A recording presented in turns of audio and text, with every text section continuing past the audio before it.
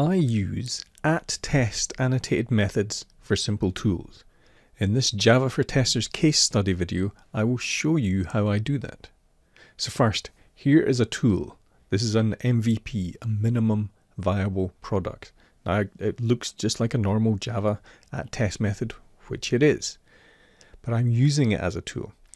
Now, the basic uh, functionality of this tool is I want to take a leanpub project, which is a set of markdown files, where the order is controlled in a book.txt file, and I want to output a single markdown file that I can run through pandoc to create a PDF locally. Doesn't matter if you don't understand that, that's fine. The, the point here is I'm writing a, a set of code as an at test method that I'm going to use as a tool. Now, Markdown is a very simple text based format which can be converted to HTML or PDF or some other formatting easily. This is a, a Markdown file, and here you can see it converted as a, an HTML view in IntelliJ.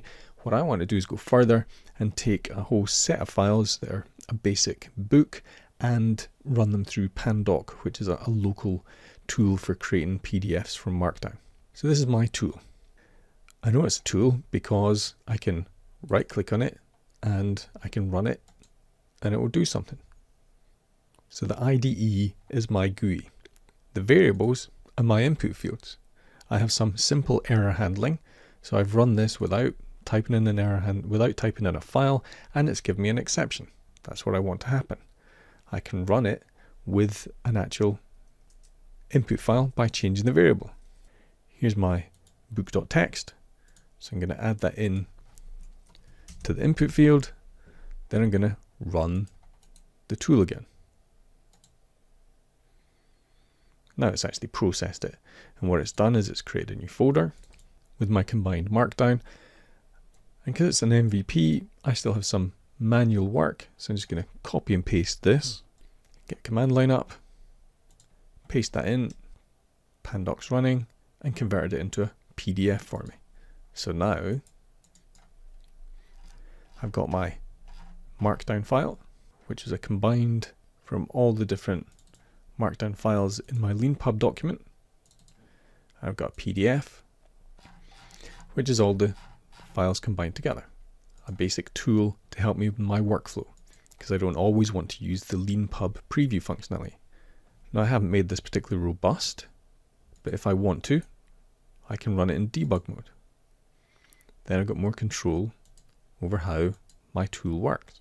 This is an MVP. This is the first step towards a tool or solving a problem.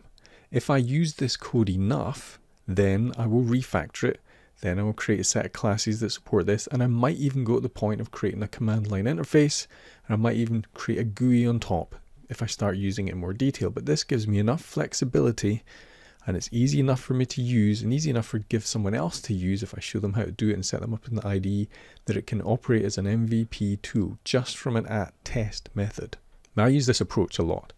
I tend to use Java rather than a lot of scripting languages because I'm much more familiar with it. So if you want to knock up a quick tool and have some basic programming language, then don't think you have to write a full GUI or a command line interface. You could just write an at test annotated method and run it from a GUI. The code for this is on GitHub in EvilTester in the Pandocifier project. You can read more about this on my Java blog at blog.javafortesters.com. And if you want to learn Java using at test methods to help support you with your testing, then I wrote the book Java for Testers.